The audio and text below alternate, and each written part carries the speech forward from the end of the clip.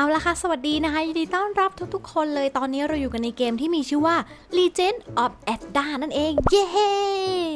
เชื่อว่าหลาย ๆ คนนะต้องเคยผ่านหูผ่านตาเกมนี้กันมาบ้างแล้วนะ เพราะว่าเป็นเกมยุคเด็ก 90 เลยทีเดียว เข้าเกมมานะก็มีให้เลือกเลยเผ่าโอลิมปัส หรือว่าเผ่าไททันนั่นเอง พี่สาจะเลือกเป็นโอลิมปัสละกัน เพราะว่าเป็นผู้หญิง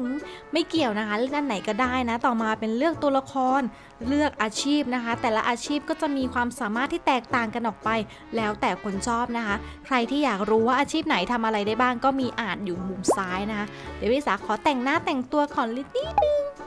ผ่านไป 15 ชั่วโมงกว่านะคะก็จะแต่งตัวเสร็จต่อมาก็ใช้ชื่อ channel เลยละกันแรปพิงค์ค่ะ เป็นชื่อตัวละคร กดสร้างเรียบร้อย กดเริ่มเข้าเกมกันเลย ตอนนี้ก็จะมีสิ่งมีชีวิตที่เรียกว่ามูฟี่นะคะ หรือว่าคัสซีนนั่นเองหนึ่งผู้ถูกเลือก บูชาโอลิมปัส แต่ละเผ่านะคะ ก็จะมีคัสซีนที่แตกต่างกันออกไป ใครที่อยากรู้เนื้อเรื่องก็แนะนำให้ดูก่อนละกัน แต่ว่าเราจะไม่เสียเวลากันเนาะเพราะว่าเราจะไปเก็บเลเวลแล้วอยากเล่นจุงมาในส่วนนี้นะคะเรียกกันว่า tutorial นั่นเอง หรือว่าเป็นระบบที่สอนผู้เล่นนะคะ สอนพื้นฐานในการควบคุมหน้าจอควบคุมตัวละครนะคะโดยเราจะทำตามที่พี่นางฟ้าบนจอของเราข้างบนนี้นะคะ เขาบอกให้เราทำอะไรเราก็ทำตามนะ และทำ tutorial เสร็จแล้วเราก็จะได้สิ่งมีชีวิตที่เรียกว่ากล่องสุ่มจากตัวเอง แน่นอนค่ะว่าสายแฟชั่นอย่างเราๆนะคะ ไม่ควรพลาดกล่องสุ่มจาก quest tutorial อยู่แล้วนะคะ เมื่อเราทำ quest เสร็จแล้วเราก็จะได้กล่องสุ่มมาแบบนี้นะคะ เราสามารถกดเปิดใช้และเลือกได้ค่ะว่าเราอยากได้ชุดอะไรในการใส่นะคะ ซึ่งพี่ลิสาจะขอเลือกเป็น random เลยละกัน เรามาดูกันซิว่าพี่ลิสาจะ random ได้ชุดอะไร N N N N ได้ชุดหมี โอ้ my god สีชมพูน่ารักมากเลยชอบเลยนะคะ กดใส่เลย ใส่ส่วนนี้ส่วนนี้ เฮ้ย แต่หัวอันนี้มัน option ดีกว่าใส่หัวนี้ก่อนละกัน เย้โอ้ยน่ารักสุดๆเลยนะคะ แหม พอเริ่มเกมยังไม่ทันได้ออกไปตี monster เลยก็มีชุดน่ารักน่ารักใส่กันแล้วนะคะ ต่อจากนี้นะคะเราจะไปทำการเก็บเลเวลกัน โดยให้ทุกคนกด M ขึ้นมานะคะ จะสังเกตว่ามีรูปเครื่องหมายตกใจสีฟ้าอยู่บนหัว NPC แบบนี้นะคะ ซึ่งแบบนี้หมายความว่า NPC ที่สามารถรับ quest ได้นั่นเอง ซึ่งในการเก็บเวลของเซิร์ฟนี้นะคะ จริง ๆ แล้วเนี่ยเราสามารถตี monster ได้อย่างเดียวเลยนะคะ แต่ว่าพี่ทิสารแนะนำนะคะ ให้ทุกคนเนี่ย มาไล่เก็บ quest ในเมืองกันดีกว่า เพราะว่านอกจากที่เราจะได้ EXP ในส่วนของการส่ง quest แล้วนะคะ เรายังได้ตังเพิ่มด้วยนั่นเอง เพราะว่าตังเนี่ยเราต้องเอาไปใช้ในการ up skill นะคะ โอ้โห ถ้าเราไม่มีตังเราก็จะไม่มี skill ใหม่ๆอะในเมื่อเครื่องหมายตกใจสีฟ้าคือสามารถรับ quest ได้ เครื่องหมายตกใจสีเขียวแบบนี้ก็คือสามารถส่ง quest ได้นั่นเองนะคะ จะได้ไม่งงเนาะเวลาเราจะส่ง quest กับ NPC ต่างๆ นะตอนนี้พี่ทิสาส่ง quest เรียบร้อยแล้วต่อไปเราจะมาทำการ up skill ให้ทุกคนได้ดูกันนะคะ วิธีการ up skill อยู่นี่ซ้ายมือ เห็นไหม ถ้าเราไม่มีเงินเราก็จะไม่มี skill อุ้ยตอนนี้มี 500 แล้ว up ได้ 1 skill เย่ ก่อนที่จะไปตี monster นอกเมืองเราก็ up skill ได้แล้วเพียงแค่ส่ง quest ในเมืองเท่านั้นเองนะคะ แต่เอ๊ะเอ๊ะก่อนที่เราจะไปบวกกับ monster ข้างนอกนะคะ อย่าลืมกดคำว่า shop ค่ะแล้วlogin ID ของเราให้เรียบร้อยนะคะ แล้วเลือกตรงคำว่า free item ค่ะ เสร็จแล้วนะคะ กดรับ item ฟรีที่เซิร์ฟเวอร์นี้แจกให้ ID ละ 1 ครั้งเท่านั้นนะคะ ซึ่งเลือกดีๆนะคะ เพราะว่าไม่อย่างนั้นเนี่ยไม่มีให้แจกอีกแล้วนะเจ้าเอง พร้อมรบเรียบร้อยแล้วนะคะ ออกนอกเมืองกันไปเลยเย่ตอนนี้นะคะเราก็โผล่มาที่ไก่เย็นเพนมันอ่านว่าอะไรก็ไม่รู้ล่ะนะคะ ตอนนี้อ่ามี quest ข้างหน้ากดรับมาก่อนเลย จะได้ไม่เสียเวลานะจ๊ะ ต่อมามีการตีหนู เฮ้ย ทุกคนดูตรงขวามือนะคะ ก็คือ quest ของเราหรือสามารถกดตัว L ได้นะคะ เพื่อที่จะดูข้อมูล quest ว่าเขาให้เราทำอะไรนั่นเองนะคะ เมื่อเราดูเสร็จเรียบร้อยแล้วนะคะ เราก็กด L กับโจมตียายายายาไอ้ยา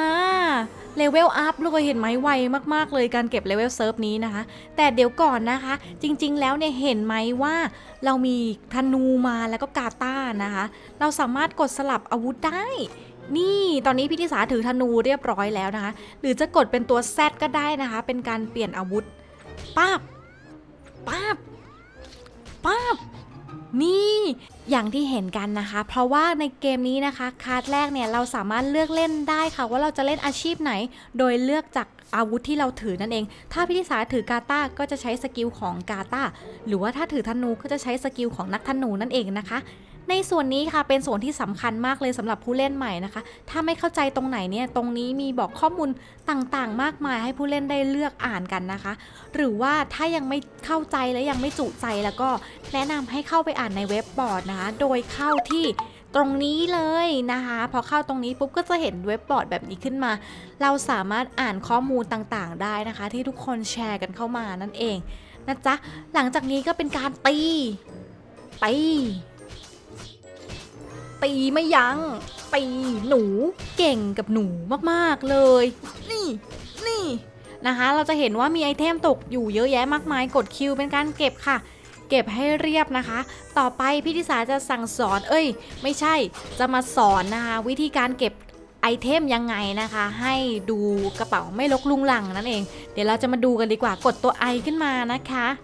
เสร็จแล้วเราเลือกเรียงนะคะ เลือกเรียง item ของเรานั่นเอง สิ่งที่อยากจะให้เก็บนะคะ อย่างแรกเลยเห็นไหมหินแบบนี้นะคะเขาเรียกว่าหินเขียวหรือหินขาวแบบนี้นะคะ เรียกอีกอย่างว่าคือหินตีบวกนั่นเอง เป็นหินที่จำเป็นที่จะต้องใช้และจำเป็นจะต้องเก็บนะคะ แนะนำให้เรียงตามเลขเลยนี่ มันจะมีเลขบอก เว้นช่องไว้นะคะ เดี๋ยวจะมี 1 2 3 4 5 1 2 3 4 5 แบบนี้นะคะ สีขาวสีเขียวนะคะ 5 ระดับ โดยหินสีขาวนะคะ เอาไว้ใช้บวกกับชุดค่ะ ส่วนหินสีเขียวนะคะ เอาไว้ใช้บวกกับอาวุธนั่นเอง เราจะสามารถตีบวกได้โดยไปหา blacksmith ที่อยู่ในเมืองนั่นเองนะจ๊ะ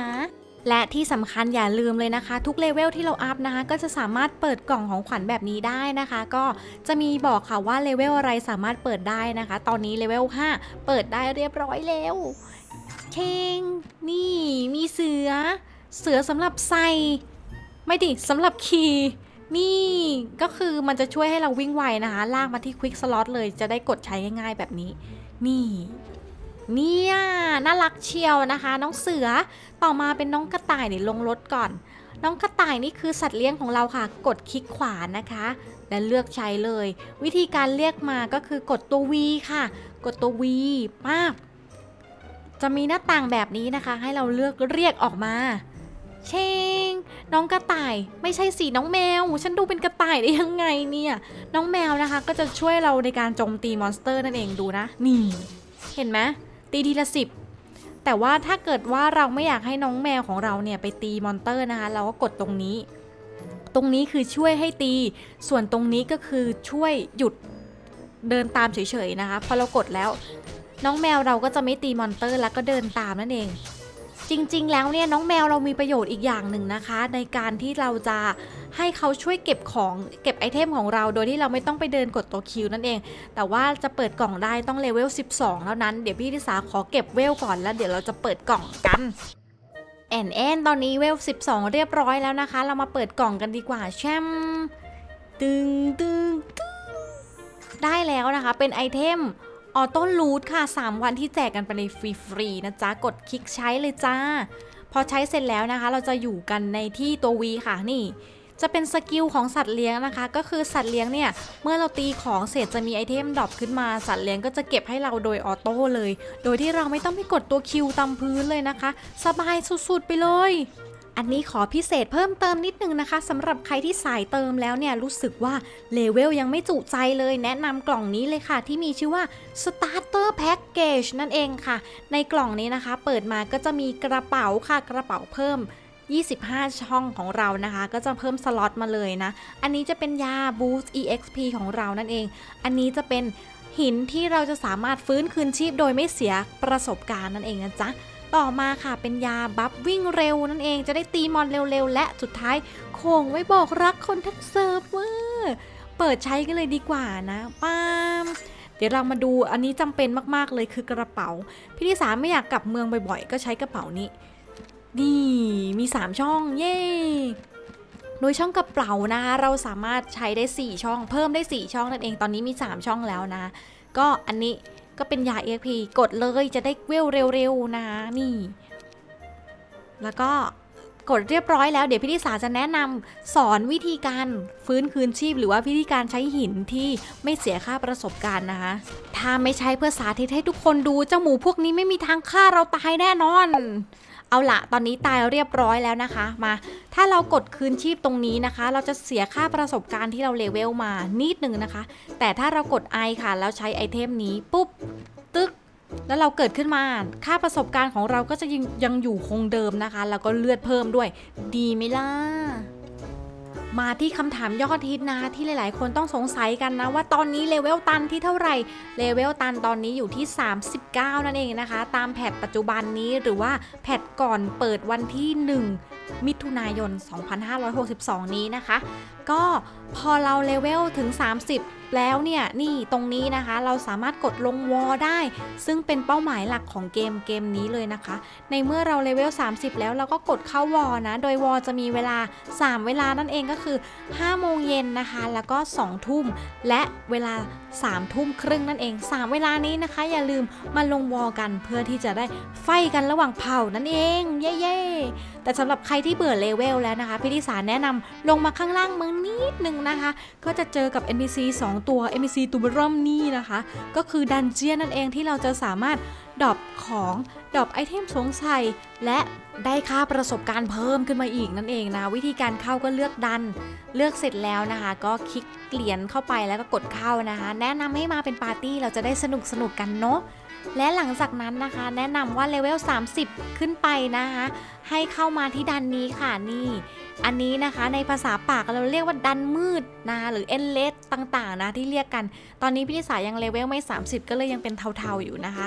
ก็ถ้าเกิดเราเข้าได้แล้วเนี่ยก็เข้าไปเลยนะคะ ดันนี้เป็นดันที่สามารถหาไอเทม หาชุดสวมใส่ที่เป็นชุดเซตนะคะณ patch ปัจจุบันนี้นะคะเซตชุดในดันนี้นะเป็นเซตที่ดีที่สุดแล้วนะคะ ก็แนะนำให้ลงเข้ามานะอาจจะยากนิดนึงก็กดยา buff ต่างๆ หรือว่าทำชุด ให้มันดีๆนะคะ อย่าลืมใส่ชุดที่เขาแถมมาที่แจกฟรีใน item mall นะคะ แจกฟรีชุดฟ้าเลเวล 30 นะคะ แต่ว่าจะอาจจะไม่ดีเท่าชุดในดันนี้นะคะ ก็ใส่ชุดที่แจกฟรีแล้วไปล่าของในดันนั้นดีกว่า อันนี้แนะนำเลยนะคะเกมดีๆ น่ารัก น่าเล่นขนาดนี้จะมัวรออะไรนะคะ ทุกคนคะสามารถลงทะเบียนและดาวน์โหลดได้ตั้งแต่วันนี้เป็นต้นไปเลยนะคะ หรือว่าพี่ธิสาเนี่ยจะทิ้งลิงก์ดาวน์โหลดไว้ให้ใต้คลิปวิดีโอนี้นะจ๊ะ เปิด Open Beta พร้อมกันค่ะในวันที่ 1 มิถุนายน 2562 นี้ ใครที่อยากเล่นแล้วก็อย่าลืมดาวน์โหลดมาเล่นด้วยกันนะจ๊ะ และสามารถติดตามอัปเดตข่าวสารรายละเอียดเพิ่มเติมของเกมนี้นะคะ ได้ที่แฟนเพจนี้เลย มีลิงก์ให้ใต้คลิปวิดีโอนี้นะจ๊ะ เอาละค่ะ วันนี้ก็ขอตัวลาไปก่อนนะคะ และพบกันใหม่ ขอให้โชคดี แล้วเจอกันในเกมนะจ๊ะบ๊ายบาย